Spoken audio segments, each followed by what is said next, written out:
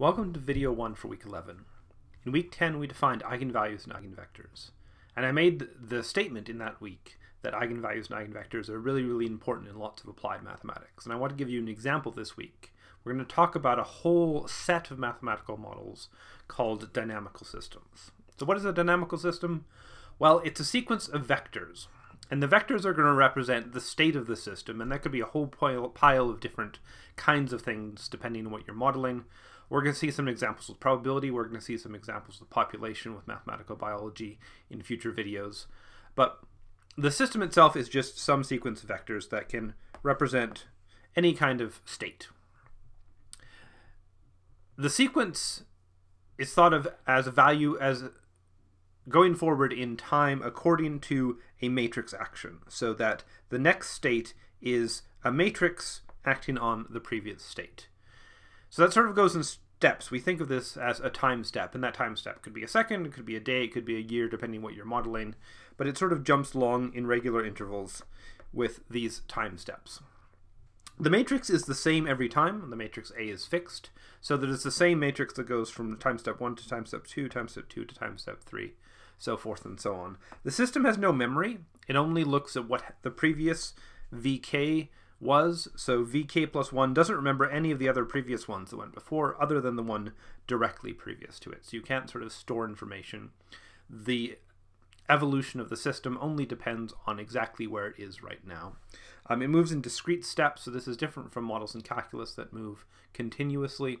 So we have a discrete situation for each time step, and then we move on to the next time step. And since, of course, this is a matrix action, this is a linear relationship, so that the state in k plus 1 depends linearly on the previous state. It's possible to have a nonlinear dynamical system as well, but that's a much more complicated thing. The question we often want to ask is what's the long-term behavior of the dynamical system? So let's say we have a dynamical system with a matrix A that describes its evolution over the time steps. And I want to analyze the long-term behavior by talking about eigenvectors and eigenvalues. So let me say I've got an eigenvector and an eigenvalue, and, and say that I happen to be in a state which is an eigenvector. What happens to the behavior of that state? Well, acting with the matrix A is just multiplying by the eigenvalue lambda. That's what the definition of an eigenvector is. So if I if I act k times, so if I sort of start in this in state V, and then I want to know what happens k time steps later, so I go one, two, three, look at the long-term behavior many time steps later, I end up just multiplying by lambda each time, and since the action is linear, that constant comes out each time, and the action still continues to be keep multiplying by this eigenvalue. So in that sense, if I start with an eigenvector, the long-term behavior depends entirely on the eigenvalue, because I'm just taking higher powers of this eigenvalue. Let me be more specific as what kind of behaviors I get with higher powers of that eigenvalue. If the eigenvalue is zero, then immediately after one action, everything is just sent to zero. This is a collapsing state, where nothing actually happens at all. The state is sent to zero, and then it just stays at zero forever. If I have lambda to the k times v and lambda has absolute value less than 1, then this term is going to get smaller and smaller. So I take higher and higher powers of something less than 1, it gets closer and closer to 0. So that's going to give me an exponential decay situation. So sometimes I'll get exponential decay of the state down to 0. The collapsing state goes to 0 immediately in one step. The exponential decay state never actually gets to 0, it just gets there asymptotically. If the eigenvalue is negative 1, then taking higher powers of the eigenvalue is just going to switch back and forth between plus 1 and minus 1. So I get a two-period oscillation between a positive state and a negative state. So it's another behavior the system can have is just jumping back and forth between a certain positive and negative state. If lambda is equal to 1, then nothing happens. That's a steady state. And this is really in the same sense that we use the term in calculus. We talked about steady states of differential equations, things that don't change. So if I'm in a certain state and I have a, an eigenvalue of 1, I'm just going to stay in that state. If the eigenvalue is larger than 1, then for the same reason, multiplying something larger than 1 by itself a bunch of times is going to get larger and larger. I'm going to get exponential growth of a multiple of the eigenvector. And lastly, if the eigenvalue is less than negative 1, then in absolute value it's still going to keep growing, but since it's negative, if I multiply by itself a bunch of times, it's going to flip back and forth between negative and positive values. So I'm going to get exponential growth and the same two-period oscillation. So I get a bunch of different behaviors depending on what this eigenvalue is. Now that tells me what happens when I start with an eigenvector as the state, but that's not typically where I'm going to start. I could start with any kind of state.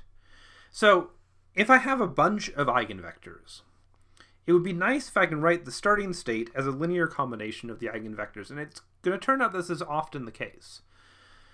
That often the starting state will be exactly this linear combination of eigenvectors.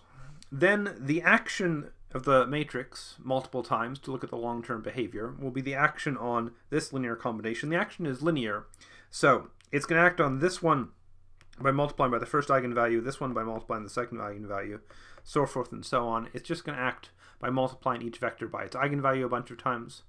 So what I'm going to get acting on this starting state is I'm going to get a multiple here, a multiple here, a multiple here. I'm just going to get multiples by the eigenvalue for the different eigenvectors. And then in each of these cases, I can analyze like I did in the previous slide, and maybe this one is exponential growth, and this one is exponential decay, and this one is oscillation, and I can sort of put those things together. Ideally, if only one of them is exponential gro growth and the other one's decay, so say this one is exponential growth and the rest of these decay, then I know that wherever I start, I'm going to end up with long-term behavior that acts like the eigenvalue of v1. And that's sort of the ideal situation.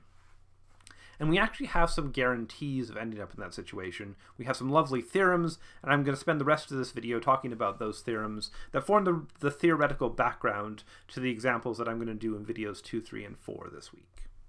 So the theorem is called the Perron-Frobenius theorem. I'm going to present two versions. This is sort of the, the first uh, lighter version with fewer assumptions.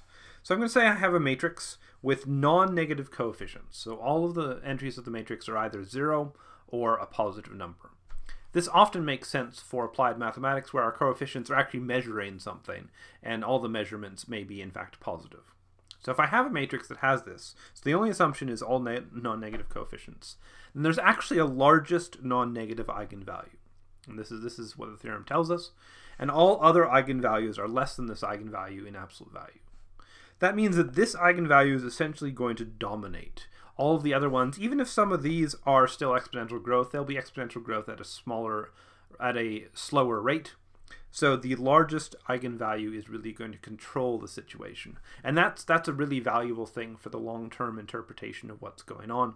This largest non-negative eigenvalue is the the largest possible growth. If this thing is also exponential decay, then all of the eigenvalues are going to be exponential decay because they're all going to be smaller in absolute value. In addition, the matching eigenvalue has non-negative entries, which again is also important for interpreting the long-term state. So the, the eigenvector is going to be the state that we're going to get to according to this eigenvalue. And if our system happens to be a system that needs non-negative entries, because negative numbers don't make sense for, say, a population value, then it's really nice to know the theorem guarantees that the matching eigenvector for this dominant eigenvalue is in fact a, a, a vector with either zeros or positive numbers. Now this is not necessarily ideal, since uh, this eigenvalue might not be unique, um, and it might have multiple eigenvectors associated to it. So I actually want to, I would like to have a stronger version of this. And to get a stronger version of that, I need this weird technical definition. So I'm going to define an irreducible matrix. So this is a square matrix, and I want to consider any two indices between 1 and n. So this is a 4 by 4 matrix, then i and j are any numbers between 1 and 4.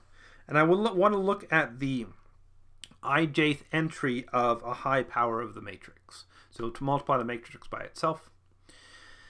If for any i and j, so for any index between 1 and n, there's some number k for which this is non-zero, then the matrix is irreducible.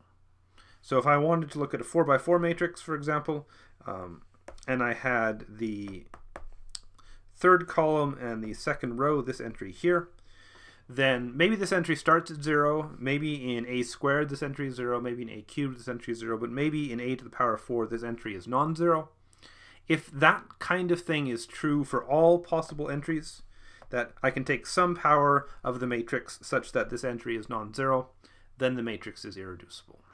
For the systems we're going to analyze, this is this is going to mean essentially that the system all states in the system relate to the other states. You can sort of get between all of the states. The system is actually a, a, functional interconnected system. So this is sort of a weird technical definition, but does actually make a lot of sense for a lot of the systems we're going to consider.